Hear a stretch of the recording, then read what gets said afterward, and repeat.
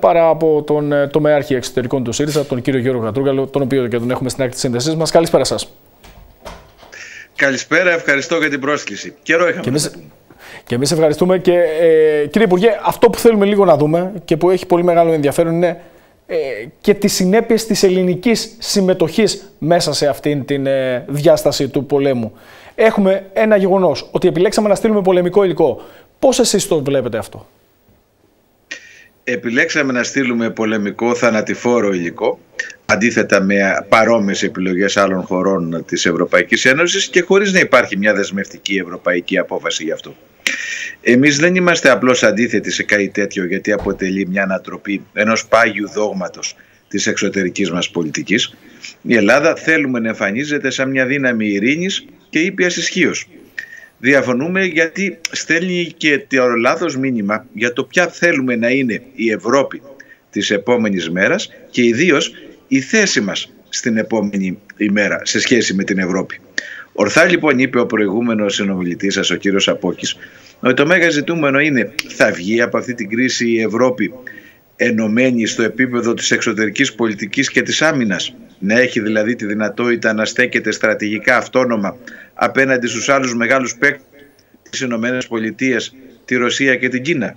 Αυτή τη στιγμή δεν, δεν είναι μόνο αυτό. καλό για αυτή Είναι Σήμερα δεν συμβαίνει αυτό σε καμία περίπτωση ε, δεν είναι καλό να συμβεί μόνο και μόνο για να αποκτήσει υπόσταση η Ευρώπη σε επίπεδο ε, διεθνές, αλλά και γιατί είναι ο μόνος τρόπος να παίξει ένα εξισορροπιστικό ρόλο απέναντι στους άλλους μεγάλους παγκόσμιους παίκτες και έτσι να αποφύγουμε ένα νέο ψυχρό πόλεμο, ε, ο οποίος θα έχει πολύ δυσμενείς συνέπειες για όλη την ανθρωπότητα.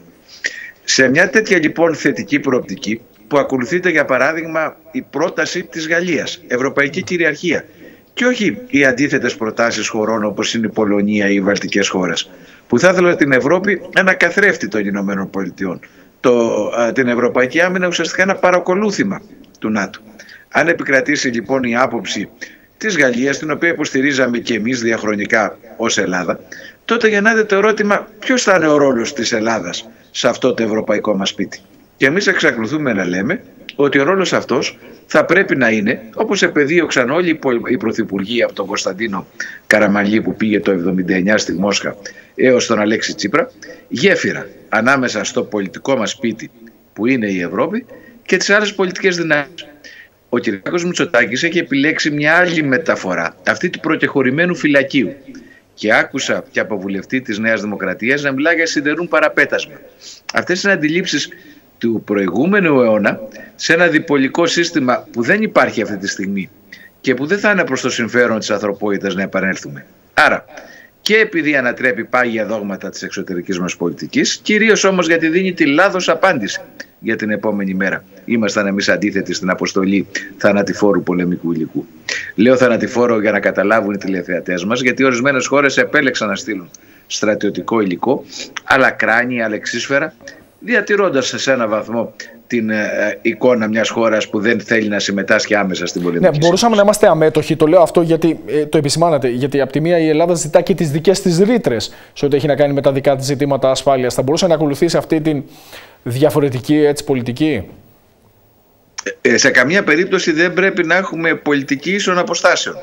Πρέπει, όπως όλες οι πολιτικές δυνάμεις έκαναν, να καταδικάσουμε την εισβολή ως παράνομη, ως αντίθετη στο διεθνές δίκαιο και να ζητήσουμε την άμευση, την άμευση ε, κατάπαυση του πυρός με την αποχώρηση των ρωσικών στρατευμάτων.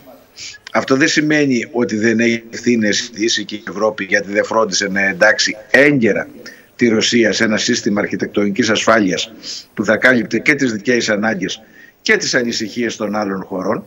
Αυτή όμως είναι μια συζήτηση ιστορική για το παρελθόν και για το μέλλον για την επόμενη ημέρα δεν σημαίνει σε καμία περίπτωση δικαιολόγηση των ενεργειών του Πρόεδρου Πούτιν. Επειδή έχουμε συνέπειες και οι συνέπειες νομίζω είναι ορατές, ε, προσεγγίζονται και στο οικονομικό πεδίο αυτή τη στιγμή και θα τις ζήσουμε και τα επόμενα χρόνια. Ε, τι πρέπει να γίνει σε επίπεδο ευρωπαϊκής αντίδρασης; Η Ελλάδα από μόνη της μπορεί πια να ελπίζει ότι μπορεί να ισοσταθμίσει, να το πω έτσι, το όποιο κόστος παρέμβασης βλέπουμε να συμβαίνει αυτή τη στιγμή στα νοικοκυριά για τις επιχειρήσεις; Δυστυχώς ε, το νέο επερχόμενο κύμα ακρίβειας που αναπόφευκτα θα προκύψει και ως αποτέλεσμα των κυρώσεων και των αντιμέτρων της ε, Ρωσίας έρχεται να βρει ήδη μια μεγάλη απειλή για το λαϊκά νοικοκυριά για τους εργαζομένους από την αύξηση του ρεύματος αλλά και των τιμών στο σούπερ μάρκετ. Δεν ήταν επομένως κάτι αναπόφευκτο.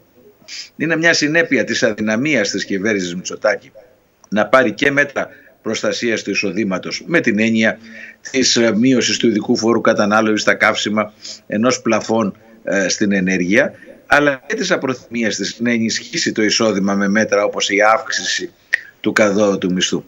Δυστυχώς τα πράγματα δεν είναι εύκολα και νομίζω είναι ένας από τους επιπλέον λόγους που πρέπει κάθε Έλληνας να αξιολογήσει αν πια η παραμονή της κυβέρνησης Μητσοτάκη, η κυβέρνηση της δεξιάς στην εξουσία είναι προς το συμφέρον ή όχι. Το δικό του και γενικότερα του λαού μας.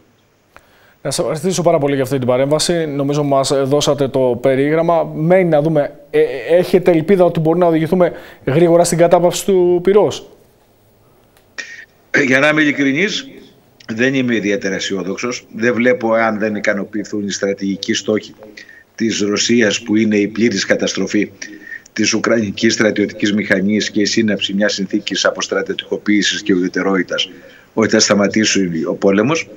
Πρέπει όμως να επιμείνουμε. Η αναζωογόνηση του φιλιρινικού κινήματος και στη Ρωσία και στην Ευρώπη είναι μια ελπίδα.